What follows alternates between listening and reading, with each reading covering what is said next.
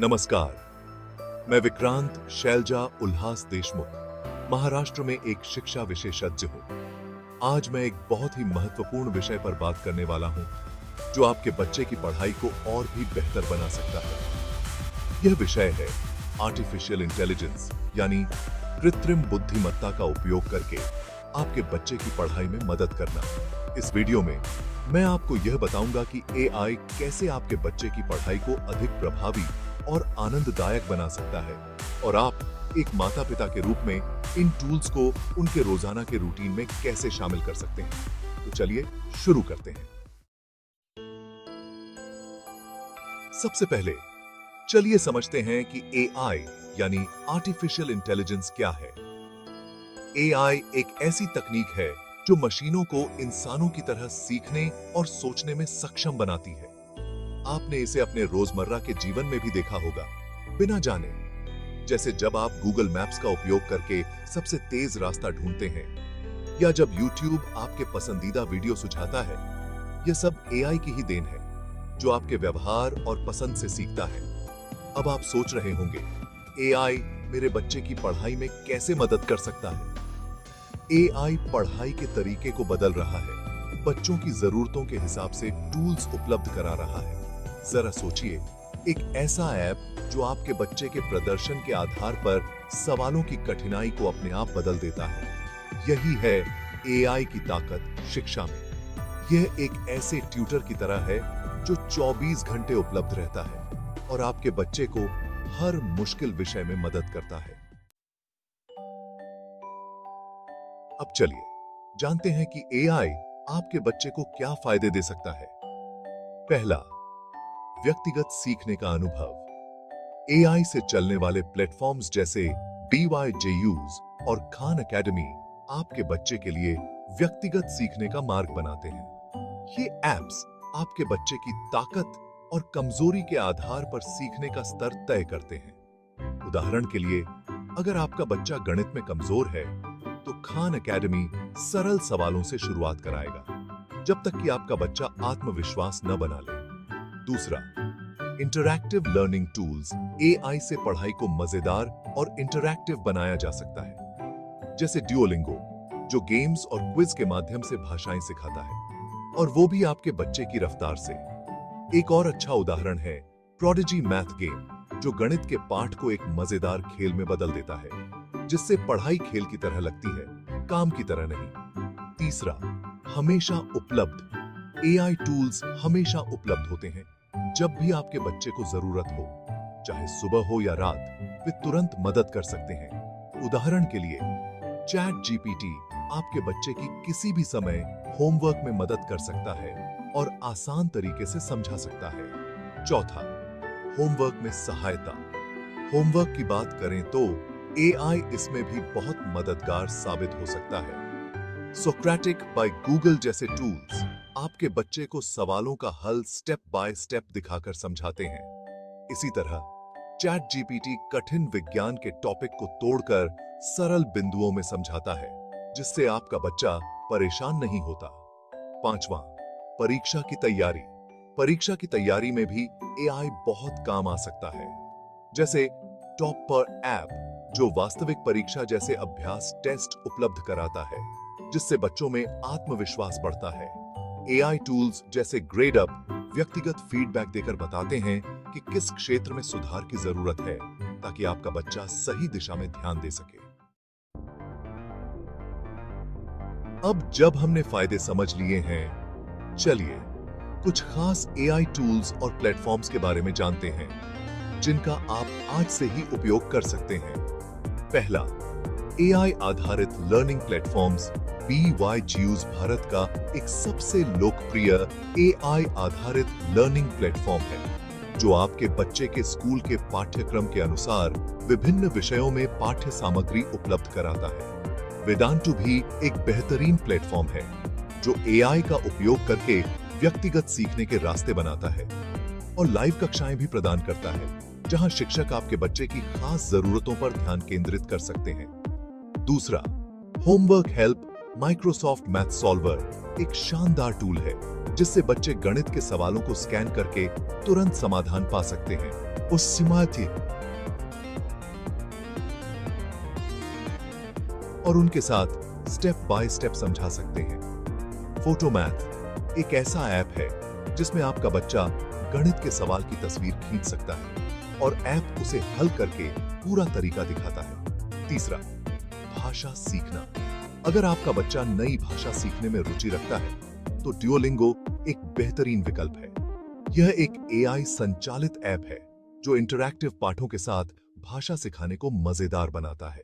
बैबल एक और अच्छा ऐप है, जो एआई का उपयोग करके बच्चे की प्रगति के आधार पर पाठों को अनुकूलित करता है, ताकि वह जहाँ ज़रूरत हो, वहाँ सुधार कर सके। चौथा माता पिता का नियंत्रण और मॉनिटरिंग आके आबाकी ओछेहा गूगल फैमिली लिंक एक एआई टूल है, जो आपको आपके बच्चे के ऐप उपयोग और स्क्रीन समय को मॉनिटर करने और सेट करने में मदद करता है। कुस्टोडियो एक और टूल है, जो आपको आपके बच्चे की ऑनलाइन गतिविधियों पर नज़र रखने और उनके डिवाइस उपयोग के लिए स्वस्थ सीमाएँ निर्धारित करने में मदद करता है। अब बात करते हैं कि आप इन एआई टूल्स को अपने बच्चे की रोज़मर्रा की दिनचर्या में कैसे शामिल कर सकते हैं। पहले, खान एकेडमी को अपने बच्चे के टैबलेट या फ़ोन पर डाउनलोड और सेट करें। यह उपयोग में आसान है और आपके बच्चे को विभिन्न विषयों में सीखने के लिए सामग्री प्रदान करता है। आप अपने फ़ोन पर भी माइक्रोसॉफ्ट मैथ सॉल्वर इंस्टॉल कर सकते हैं, ताकि जब भी आपके बच्चे को गणित के सवालों में मदद चाहिए हो, वह तुरंत पा सके। भले ही आप व्यस्त हो, संतुलन बनाए रखना ज़रूरी है। आप एआई आधारित पढ़ाई के लिए दिन में 30 मिनट निर्धारित कर सकते हैं। उसके बाद पारंपरिक पढ़ाई के तरीके अपनाएँ। उदाहरण के लिए, आपका बच्चा ड्यूओलिंगो पर 20 मिनट तक नई भाषा का अभ्यास कर सकता है। फिर उस भाषा में कोई किताब पढ़ सकता है। अपने बच्चे को नियमित ब्रेक लेने और शारीरिक गतिविधियों में शामिल होने के लिए प्रोत्साहित करें। जैसे प्रोडिजी में गणित का अभ्यास करने के बाद वह बाहर जाकर खेल सकता है। आपके बच्चे की प्रगति को मॉनिटर करना महत्वपूर्ण है। हर सप्ताह बी वाई जे यूज़ या खान एकेडमी पर उसकी उपलब्धियों को देखें, ताकि समझ सके कि कहाँ उसे अधिक मदद की ज़रूरत है। गूगल फैमिली लिंक जैसे टूल्स का उपयोग करें। यह देखने के लिए कि वह कितनी देर तक शिक्षा ऐप्स का उपयोग कर रहा है और कितना समय मनोरंजन पर बिता रहा है। उन्हें उनके लक्ष्यों पर बने रहने के लिए प्रोत्साहित करें और उनकी सफलताओं का जश्न मनाएँ। अंत में, मैं आपकी कुछ सामान्य चिंताओं का उत्तर देना चाहूँगा। स्क्रीन समय को लेकर चिंता करना स्वाभाविक है।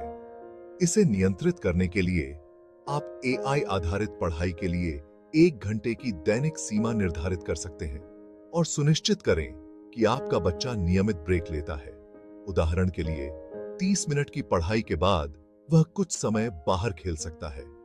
एआई लर्निंग को शारीरिक गतिविधियों के साथ जोड़ें, जैसे एक एआई टूल का उपयोग करके गणित का अभ्यास करने के बाद आपका बच्चा कोई खेल खेल सकता है या किसी रचनात्मक गतिविधि में शामिल हो सकता है, जैसे ड्राइंग।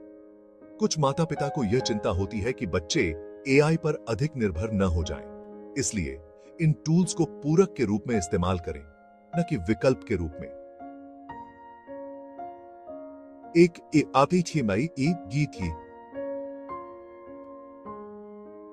आई ऐप का उपयोग करके कोई विषय सीखने के बाद अपने बच्चे से कहें कि वह इसे अपने शब्दों में आपको समझाए ताकि उसकी समझ मज़बूत हो सके। एआई लर्निंग को हाथ से की जाने वाली गतिविधियों के साथ जोड़ें। उदाहरण के लिए, अगर आपके बच्चे ने एआई टूल का उपयोग करके पौधों के बारे में सीखा है तो आप उसके साथ एक पौधा लगाएँ और उसकी वृद्धि को देखें, जिससे सिद्धांत को वास्तविक जीवन से जोड़ सकें। डेटा प्राइवेसी भी एक महत्वपूर्ण चिंता है। सुनिश्चित करें कि आप जिन एआई टूल्स का उपयोग कर रहे हैं वे भरोसेमंद स्रोतों जैसे गूगल या माइक्रोसॉफ्ट के हों, जो सुरक्षा को प्राथमिकता देते हैं। अपने बच्चे को यह भी सिखाएँ कि वह ऑनलाइन किसी भी व्यक्तिगत जानकारी को बिना आपकी अनुमति के साझा न करे। अंत में एआई आपके बच्चे के सीखने के अनुभव को काफ़ी हद तक सुधार सकता है। यह उन्हें अपनी गति से सीखने में मदद कर सकता है, कठिन विषयों को रोचक बना सकता है। और जब भी उन्हें मदद की ज़रूरत हो, तुरंत सहायता प्रदान कर सकता है।